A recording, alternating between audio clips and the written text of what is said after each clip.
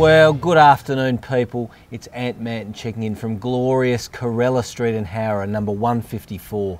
And you should see the view that I've got from up here. I can see the casino, the mountain, the water, absolutely fantastic. Upstairs, three bedrooms and a study. Downstairs, loads of living space, lots of separate areas for the kids.